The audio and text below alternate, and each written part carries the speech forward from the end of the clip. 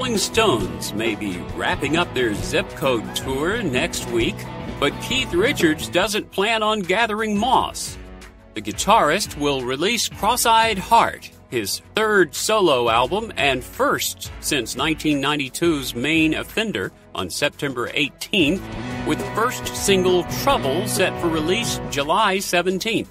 Richards and drummer Steve Jordan wrote and produced the majority of Crosseyed Heart, with guitarist Waddy Wachtel and Rolling Stones backup singer Bernard Fowler also assisting on the project. Richards said in a statement, I had a ball making this new record and working with Steve Jordan and Waddy Wachtel again. There's nothing like walking into a studio and having absolutely no idea what you're going to come out with on the other end. If you're looking for trouble, you've come to the right place.